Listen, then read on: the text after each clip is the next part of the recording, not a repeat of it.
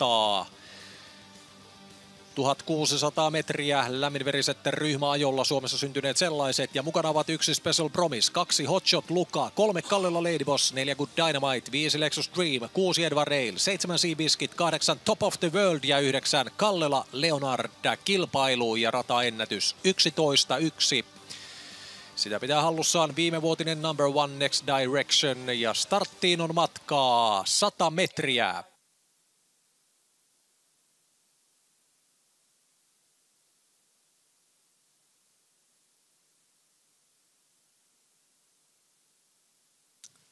Lähtö hyväksytään. Sisältä tulee kovaa yksi Special Promise. Keskeltä viisi Lexus Dream ja ulkoa seitsemän Sea Biscuit. Viisi Lexus Dream tähtää kärkeen. Yksi Special Promise on sisällä.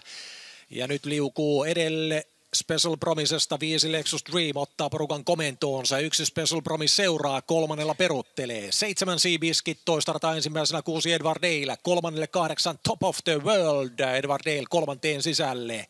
Näin toistarta ensimmäisenä kolme Kallella Lady kun etusuoraan tullaan ja puolikkaan väliaika. Se on 090 ja merkataan numerolle 5 Lexus Dream Ari.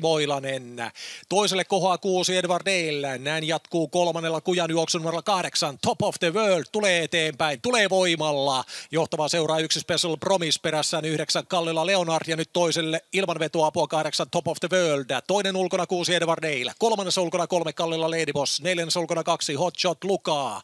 Neljäs sisällä sisällä neljä Good Dynamite porukan täydentää viidennessä sisällä matkaa taittava seitsemän Sea Biscuit. Viimeistä kertaa takasuoralla puolimatkan ylitetty vuoden 2019 Betset number oneissa kierros täyteen ajassa 11.0.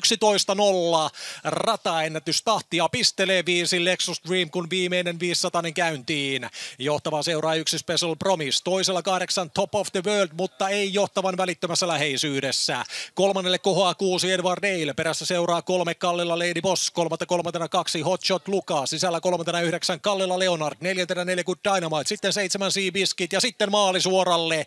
Viisi Lexus Dream johtaa sisärassa nimua. Yksi Special Promise seuraa. Kolmantena yhdeksän 9 Kallila Leonard, 5 Lexus Dream, 1 Special Promise, Ari Moilanen, Karjala Pekkala voittoväännössä, 5 Lexus Dream on kärjessä, mutta yksi Special Promise lähenee ja lähenee. Meneekö edelle? Lexus Dream, Special Promise ja number one on 5, Lexus Dream, Ari Moilanen, Markku Nieminen, Johanna Kyläkoski.